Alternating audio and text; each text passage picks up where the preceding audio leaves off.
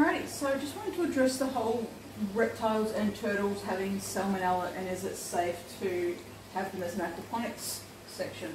My videos were actually mo mostly trying to give you information about aquariums, but I was using my turtle tank in this example. And um, someone pointed out, do they have salmonella? And the answer is yes.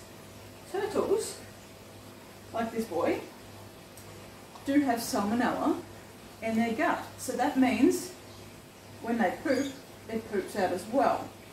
Now, I, I kind of often think that a lot of people know things and we always, I forget what people don't know. He's hiding, he's very shy. Um, but we do have some basic handling, you know, washing your hands after you're handling an animal that's had salmonella. I mean, that's a logical thing that we do. Um, and as far as is it safe to grow, there are some strains of salmonella that can be absorbed by the plants, so that's also an issue. Now, if you rinse your plants with a mixture of vinegar and water, that's going to lessen the impact or the possibility of salmonella, and especially if you do cook it, then that also gets rid of salmonella. Um, but then cows have salmonella in their gut, and so do chickens, and that's very common to use their manure in our soil-based gardening. Or when we're making some type of compost tea, we generally use chicken poop. All of that has salmonella in it too, and all of that gets put onto our veggies that are then grown with that type of fertiliser. How, how picky are you wanting to be? Um, having good hygiene, so handling my turtles now, washing my hands, um, which I can't do because my sink's full of really dirty dishes, um, but I will be before I touch my face. But doing those basic things definitely make a difference, and if you're rinsing your vegetables with a vinegar solution, that gets rid of most of the salmonella and E. coli. And there have been lots of research about this, trying to work out where food poisoning has come from in different countries. It's easy to find online. I'm not here to talk to you about the risk factors or um, the severity of it or will this or won't this work. This is a choice that you need to make and you need to do your own research and have responsibility for yourself.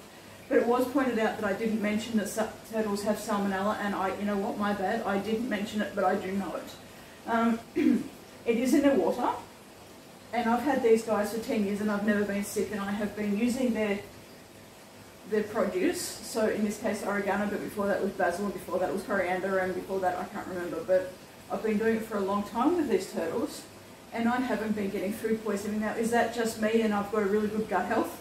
Or is this just an absolute fluke? And you know what? Flukes can happen over 10 years. So I'm not minimising that. I have no problem with rinsing my veggies with a little bit of vinegar and water and giving it a bit of a swirl and that is different to having pesticides on your vegetables. Having something like E. coli or salmonella is something that it is everywhere, and I've got my cat saying hello. Um, it is everywhere, and you need to take proper hygiene methods to look after yourself and identify what you will and will not do.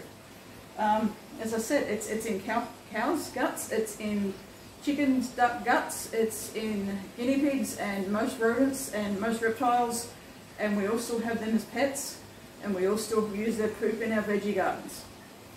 We don't want to have the pesticides because they're chemicals that are going to make us really sick and can kill us over a period of time. Salmonella can make you really sick, and I'm not going to go into the health benefits or the disease benefits of that. It, it's really bad. It can be, and it can it can kill some people. But it's, it is understanding where things are at and what your choices are. I know that a really good vinegar rinse and making sure that I cook anything that comes out of this particular tank is fine for me. That might not be fine for you, and that's okay. Now, all of your aquarium fish, no problem, no issues with salmonella. This is directly related to the turtles and them having salmonella in their gut. It's a choice you need to make, um, and I know where I stand on that, but you need to work out where you stand on that. So, as I said, I'm quite happy that to rinse things off, that's just an extra, extra little step, but I'm still not getting any of the chemicals from pesticides. And I'm still being able to use their water and recycle things. So personally, I'm okay with that. The question is, are you okay with that? So you need to think about that if you're going to use turtles in your aquaponics. It is a risk. How severe the risk is, you know, you do your own research to work that out. And some people will be more affected than others. It's the same with the flu, the cold, anything. We, we could all have be affected differently. So this will go into a couple of playlists about indoor aquariums, uh, aquaponics and turtle. But look, it works, you can do it. Weigh up your risks. Okay? Well, thanks for watching. I hope you enjoyed the video.